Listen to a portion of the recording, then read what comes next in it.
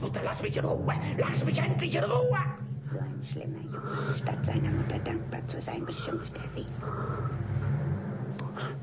Du musst die Finger von ihr lassen. Hör auf mich, Norman. Norman, wir müssen sie vernichten.